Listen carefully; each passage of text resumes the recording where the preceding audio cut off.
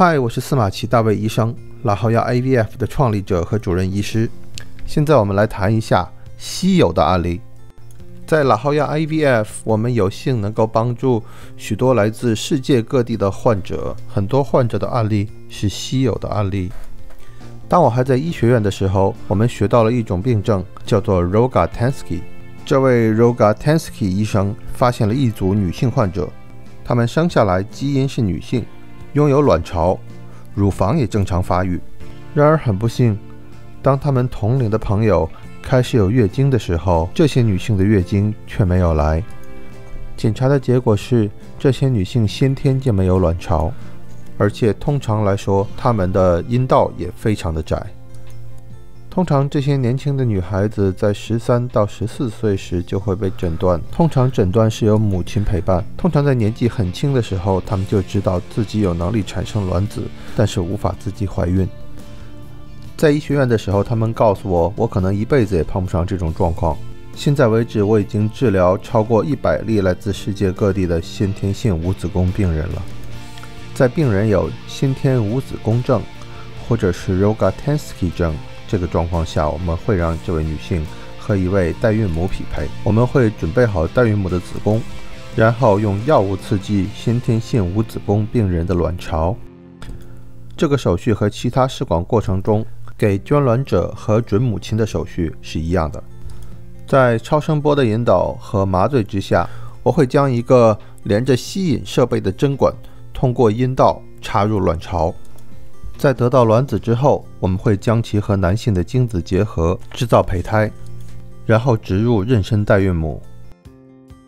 因为我有幸进行过超过三千五百个代孕的案例，其中就有很多像我刚刚提到的先天性无子宫的案例。其他的罕见病例中包括，像是比如，有的病人有先天性的子宫畸形，有的病人有两个子宫。有的病人只有一个子宫角，Rogatansky 先天性无子宫症。有的癌症患者的情况需要切除子宫，但是卵巢会被保留下来。子宫的肿瘤，像是子宫肌瘤，也需要进行子宫切除。还有一些病人因为在母亲的子宫内被药物影响，而造成他本人的先天性子宫发育不良或发育异常。在以上提到的所有状况，我们都有办法帮助我们的病人。在这些状况下，我们会从病人身上取卵，所以他们可以和自己的孩子有基因上的联系。除了特定癌症会造成女性失去她的子宫之外，女性也会因为一些特定的血液疾病，会因大量失血而造成贫血，而造成不得不将卵巢移除的状况。现在，医生们会对卵巢移除有所保留。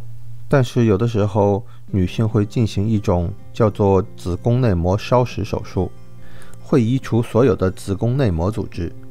这位女性会失去所有的子宫内膜组织，而就是子宫内部的组织是胚胎着床、生长和发育的地点。所以，对于子宫内部组织异常的女性来说，代孕是最好的办法。这个状况下，我们会从它取卵，从它的异性伴侣取精子，合成胚胎并植入代孕母。还有另外一种的稀有案例，我们诊所之前曾经处理过几次，我们叫它死后取精。在一位男士过世之后，会由泌尿科医师以手术的形式取出这位去世男士的精子。